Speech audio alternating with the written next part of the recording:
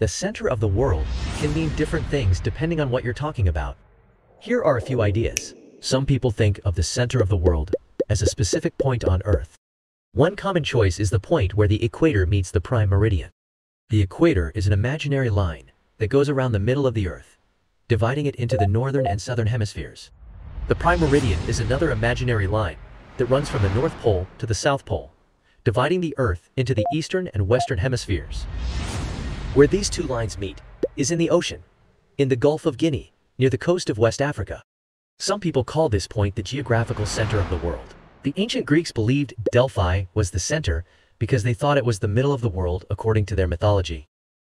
Medieval maps often place Jerusalem at the center, reflecting its religious importance to many people at the time. Technically, the physical center of the Earth is its core, about 4,000 miles, 6,400 kilometers, beneath the surface.